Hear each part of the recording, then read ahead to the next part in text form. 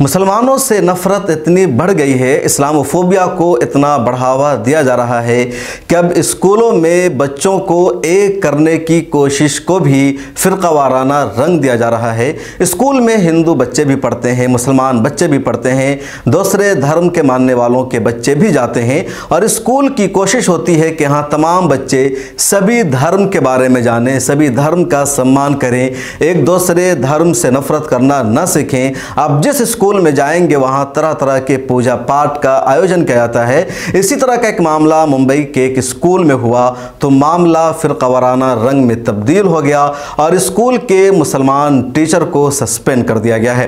मुंबई में एक जगह है कांदेवली और और वहाँ एक प्राइवेट स्कूल है। उस स्कूल में मुसलमान बच्चे भी पढ़ते हैं और हिंदू बच्चे भी पढ़ते हैं और तमाम धर्मों के बच्चों का ताल्लुक उस स्कूल से होने की वजह से वहाँ सभी धर्म की मजहबी सरगर्मियाँ अंजाम दी जाती है।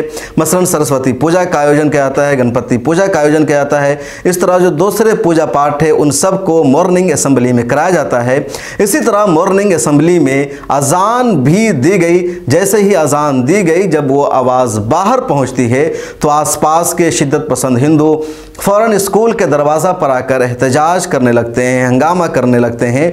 कुछ बच्चों के वालदेन भी जमा हो जाते हैं और कहना शुरू कर देते हैं, किस स्कूल में लव जिहाद कराया जा रहा है? हिंदू बच्चों को मुसलमान बनाया जा रहा है, बच्चों को अजान सुनने पर मजबूर किया जा रहा है। स्कूल की इंतज़ामिया की तरफ़ से जवाब दिया गया कि मामला ऐसा नहीं है। या हिंदू बच्चे भी पढ़ते हैं, मुसलमान बच्चे भी पढ़ते हैं। जब गणपति पूजा यहाँ कराया जाएगा, सरस्वती पूजा कराया जाता है तो अजान क्यों नहीं दी जाएगी? और मकसद है सभी धर्म के बच्चों को एक दूसरे धर्म से वाकिफ़ कराना, लेकिन उन शिद्दत पसंद हिंदुओं को ये बात पसंद नहीं आई। उन्होंने एहतजाज करना शुरू कर दिया। बीजेपी के एक विधायक वहाँ पहुँच। गए और वो उल्टी सीधी बातें करने लगे, जहर उगलने लगे। ऐसी जहर अफशानी की कि उसको बयान करना भी मुश्किल है। आप खुद सुनिए स्क्रीन पर। किसी पत्रकार को उनका स्टाफ बताता है कि आजान किया या नमाज़ पढ़ाएँगे। मैं उसके सामने बोलता हूँ, एक बार पढ़ा के दिखाओ। हम देखते हैं क्या करना है। स्कूल कैसे चलाओगे यहाँ पर आप? आप मदरसा नहीं चलाते हैं? आप स्कूल चलाते हैं मदरसा नहीं है ये। ये मदरसा नहीं है। संस्था की गलती नहीं क्योंकि यहाँ पर गणपति बापा और सरस्वती माता का विराजमान है। और इसलिए ये लड़ाई को दूसरे रास्ते पर नहीं ले जाना। सभी पेरेंट्स ने ध्यान में रखना। वो जो प्रवृत्ति की टीचर है वो टीचर इसके आगे ये स्कूल में नहीं रहेगी वो हम सबने मिलकर के देखना है। भारत माता की। फिर फिर डाइवर्ट होगा फिर डाइवर्ट होगा विषय फिर विषय डाइवर्ट होगा।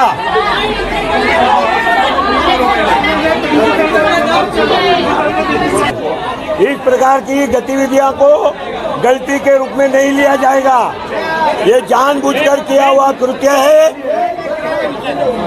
ये जानबूझकर किया हुआ कृत्य है।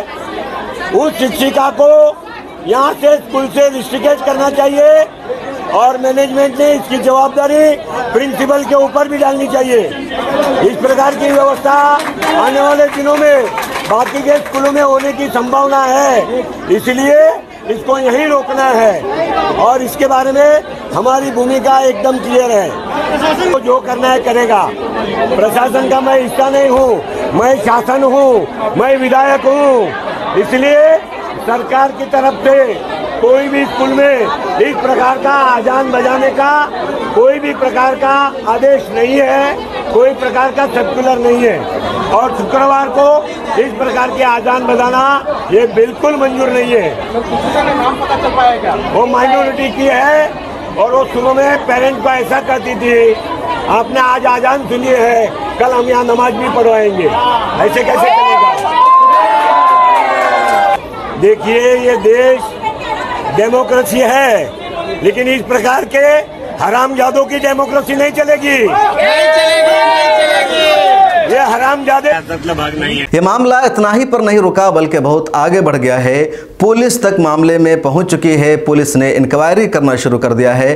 फ़िलहाल किसी की गिरफ्तारी नहीं हुई है। लेकिन उस स्कूल के एक मुसलमान टीचर को सस्पेंड कर दिया गया है जिन्होंने मॉर्निंग असम्बली में अजान कहने के लिए कहा था। गणपति पूजा कराने वालों के लिए सरस्वती पूजा का ऑर्डर देने वाले टीचर के खिलाफ कोई एक्शन नहीं लिया गया। लेकिन जिस मुसलमान टीचर ने अजान देने के लिए कहा उसको सस्पेंड कर दिया गया है और पुलिस अब जाँच कर रही है। आगे और भी कई सारा इल्ज़ाम लगाया जा सकता है, लेकिन आप देखें कि देश में सेकुलरिज्म का क्या हाल बन गया है कि उसी स्कूल में हिंदू धर्म की पूजा पाठ कराई जाती है, उसका वेलकम है, किसी को कोई एतराज़ नहीं, लेकिन उन्हीं बच्चों के दरमियान अजान दी जाती है तो इसको मज़हब से जोड़ दिया जा रहा है, इस्लामिक राष्ट्र बनाने से जोड़ दिया जा रहा है, बर्दाश्त नहीं, और स्कूल के उस टीचर को सस्पेंड कर दिया गया है। इस वीडियो में इतना ही। मुझे दीजिए इजाज़त। मकतबा शाह वली एक बार फिर इस ईद उल अजहा पर कुर्बानी सर्विसेज़ लेकर आपकी खिदमत में हाजिर है।